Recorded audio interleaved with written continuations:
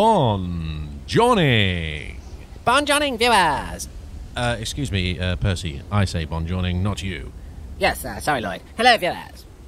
Yes, ladies and gentlemen, And, and Punaabs, Loid. ladies and gentlemen, and Punaabs, and everything in between.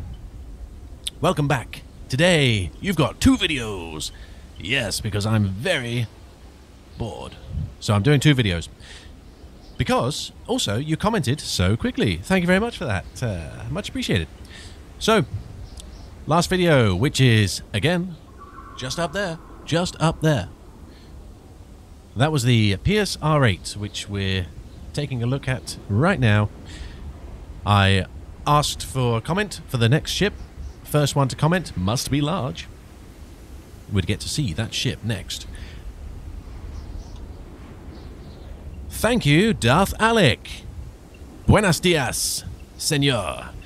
Please, the Rainbow Arc for the next one. Yes, for me, in the large ships, the R8 is the most underestimated ship. Yeah, I may well agree with you on that one. However, there is the bomber. We can't forget the bomber. Coming up today. Yes, we're actually going to uh, show you two ships today because uh, if I just show every single ship, it's going to drag on and on and on, isn't it? Uh, there's just going to be too many videos. And hey, I'm running out of music as well, guys. I need to make some more music, so I've got to squeeze them in. so thanks, Darth Alec, and uh, to all the Darths out there. Buenos dias. What next? Farhan. Thank you, Farhan. So we've got uh, the the Percy Punaab vote. Farhan has said, "Please keep Percy." Ah, Farhan, you are now my favorite follower. Thank you. Yeah. Okay. So we've got uh, now it's one and one one. Yes. No. One one. So it's a tie. So we need more comments, please. Let me know if uh, Percy should stay or go.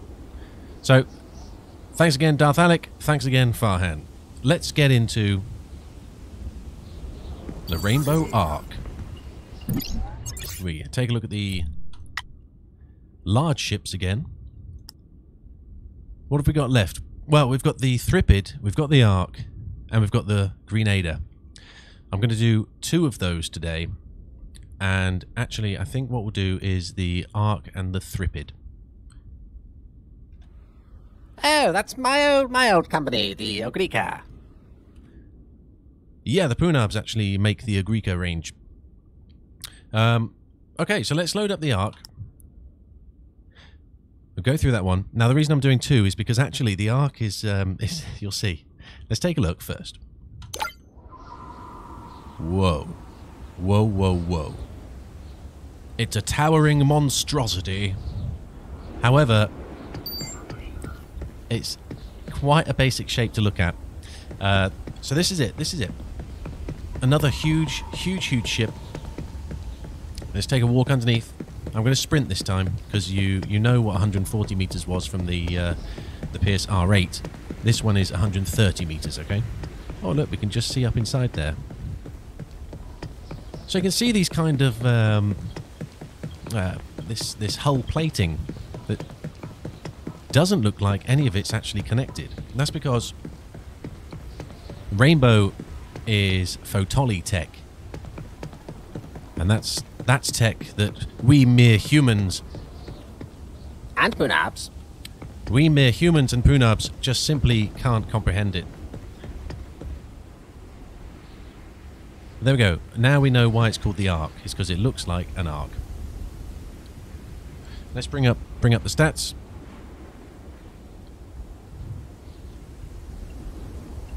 So there it is, Rainbow Arc. This is a uh, large large ship, 38 meters wide, 30 meters high, 130 meters long. The supply. This had a uh, again a limited supply at a lower entry price. That was uh, 12,705 USDC. Uh, then going up to 15,246 USDC. Very expensive. The reason for that is you're paying the premium for the Photoli tech. Shall we read through the description? The Rainbow Arc embodies the highest attainable manufacturing practices to the known Star Atlas metaverse. Utilizing Photoli light levitation, the paneling of the Arc allows for facile transportation of cargo and personnel movements, ship chassis integrity, and active defensive hull security. A generous cargo hold makes for economically effective freighting, while the crew quarters accommodate luxurious and tranquil long haul creature comforts. So uh, that first sentence there should not be underestimated. The Rainbow Arc embodies the highest attainable ship manufacturing practices to the known Star Atlas metaverse. You cannot get better than this tech, which would suggest to me, and I don't know because I don't make Star Atlas, but that would suggest to me, just reading this, that this is going to be uh, an incredible bit of kit. If you're interested in freighting, then you cannot get better well, the technology cannot get better than this. Obviously, the class can get bigger, but this is a large class, and it has the highest attainable manufacturing practices to the known Star Atlas metaverse, utilizing Photoli light levitation. All right. So if you're going to be a freighter, this and you can and you can afford it, which check the marketplace, you might get a bargain right now. Hey, hey, not financial research. Uh, this could be a very, very uh, good ship for you, a good earner. So yeah, these um, these plates on the hull, they apparently move. Take a look here. See. So they, they kind of morph and move uh, to what to what is required. So if you're loading a large uh, something large on board, then they'll move and they'll open up a large uh, access hatch. Here's some more photos. Oh, and there, that's the uh, the active defences there. It looks like some of the shell plating is being jettisoned to protect the ship from attack. So uh, if we just go back to the description there, where does it say? Active defensive hull security. That possibly is that. Hey, I don't know. Take everything I say with a pinch of salt. It's just my opinion. And here's inside got uh, ah yeah you can see that the the hull plating here is like opening and uh, some cargo is being brought in so without further ado it's party time okay what music have I got for you today it's another track another uh, we're going along that synthwave kind of uh, kind of vibe I'm going to play two tracks for you today for two ships so let's have a quick uh, zip around this ship and turn up the music. Here we go. Ah, get out of the way!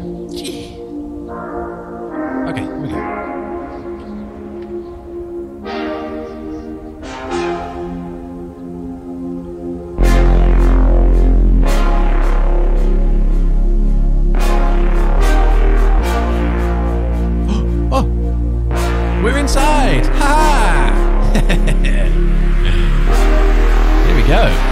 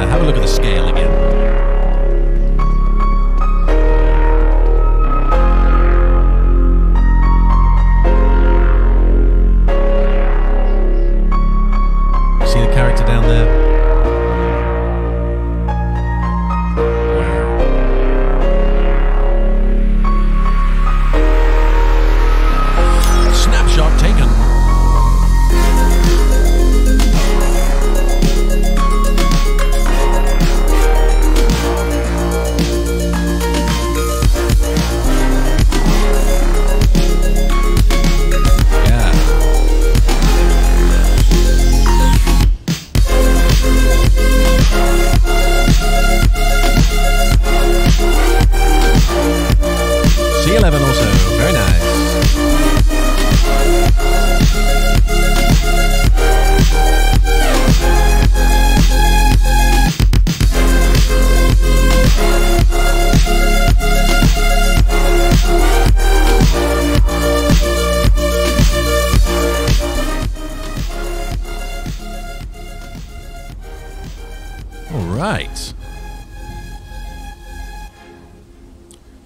We'll just let that track end. It goes straight into the next one.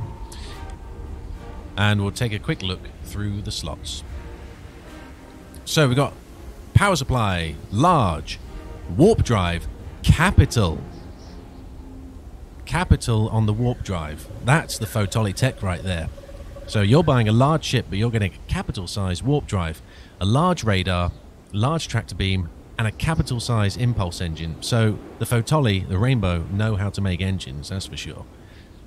One shield generator, medium. Okay, so we're sacrificing a little bit on the shield generator there, medium. However, we've got a capital, capital hull reinforcement. Uh, and that's probably uh, to do with the active defensive uh, hull plating uh, malarkey. One medium countermeasure, one medium missile bay, four large weapon hardpoints. So, you know, it can fend for itself.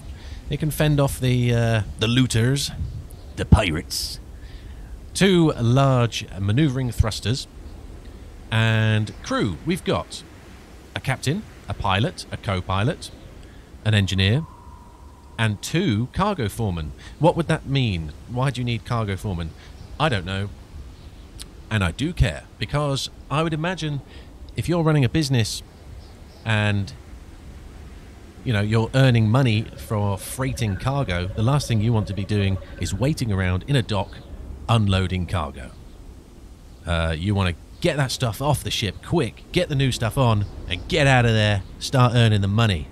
So maybe two cargo foremen would help you to unload and reload faster. I don't know. I'm just making it up here. Uh, and then modules, we've got a large cargo slot, a large mess hall, and an art gallery. Very nice. Ah. Uh, okay, so that is the Rainbow Arc. Just for you, Darth Alec. All right, let's get back to that pad and let's do the next ship now. We're going to do the uh, the Thripid. Oh my, I'm looking forward to the Thripid, uh, even though I know all about it. Ha ha ha. Okay, yeah, that didn't quite make sense, uh, Percy.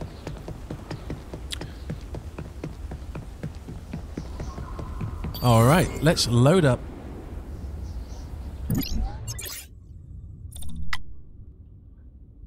Large.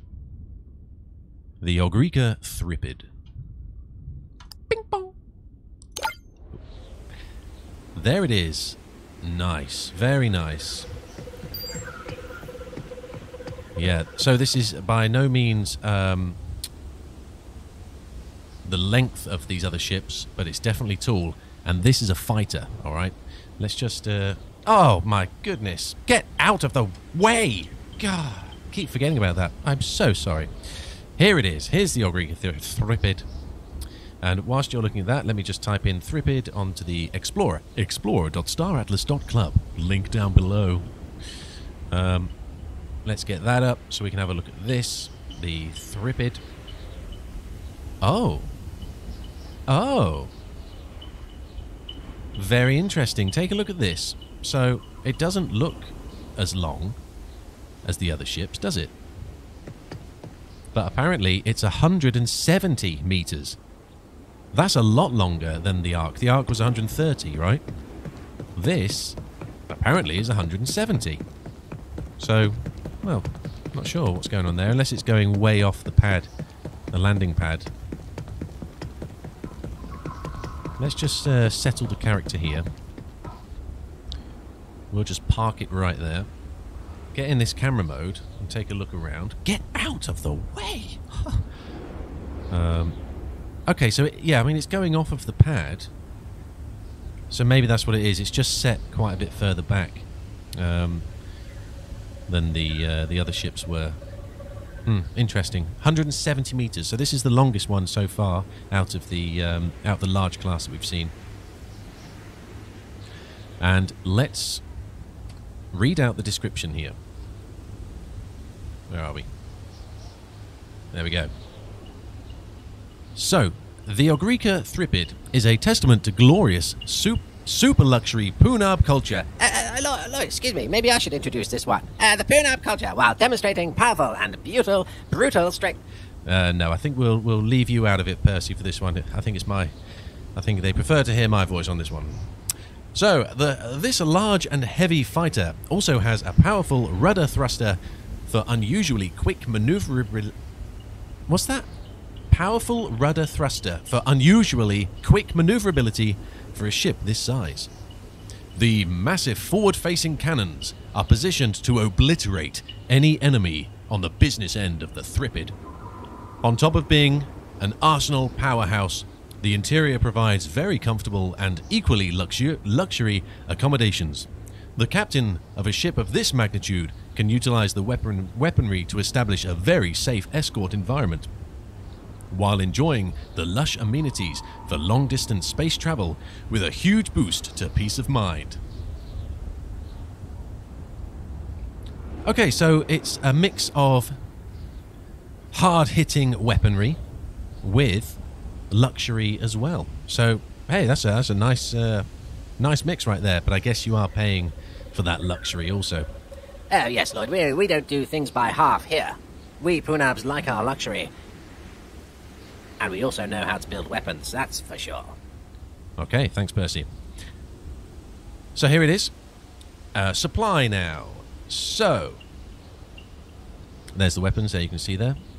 Supply. We had initial supply of 8,170 USDC, and that then went up, a limited supply, that then went up to 8,955 USDC. But as always, check the marketplace. You might find a bargain. Should we take a look at some some uh, pictures here? Here's showing uh, different skins that you might you might get for the Thripid. Here's the in, inside. That looks very very cool. Thank you, Loid. That's Punaab at its finest. Yeah, it does look nice. Some more concept art there. Blueprints. Yeah, okay, very nice. And uh, I mean those those weapons at the front look fantastic. So, what next? Maybe we'll put on a little bit of music, do the uh, the old flyabout. If we get this out of the way, there we go. Let's put on some music next and do a little fly around. Okay. Liking this so far. Where's the character? Whoa, yeah, look look at her down there. All the way down there. This is a big ship, everybody.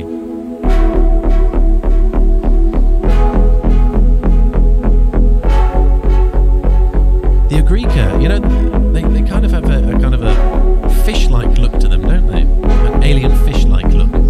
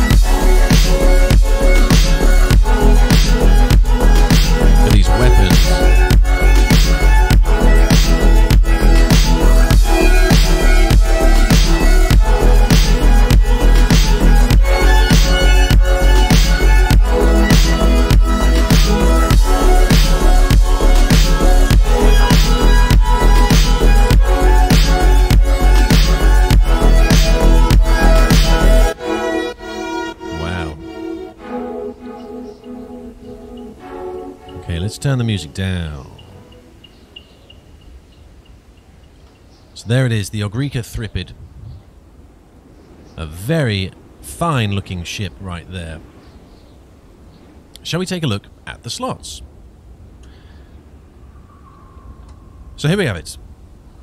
We have on the Thripid one large power supply, a large warp drive, a large radar, a large tractor beam, large shield generator, a large impulse engine, maneuvering thruster is also large, four large weapon hardpoints. Very difficult to miss those at the front there, or the forward end. Two large missile bays, nice, two missile bays, that's good. Two also large countermeasures, and one hull reinforcement, which is also large. Now on the crew, this is a fighter ship, so we've got the captain, the pilot, the co-pilot. We've got an engineer, nice. Maybe that helps with repairs or something. Who knows? Uh, and two turret gunners. So that's going to help you. Uh, and also, I think you can level up crew. Eventually, you'll be able to level up crew. So if you get two really good uh, turret gunners on there, that's going to be one epic ship to battle with. And it's stunning looking as well. So if you like your luxury and you're willing to pay a little extra for that, the Ogrika Thripid may be for you. Let's get that out of the way. Right, there we go.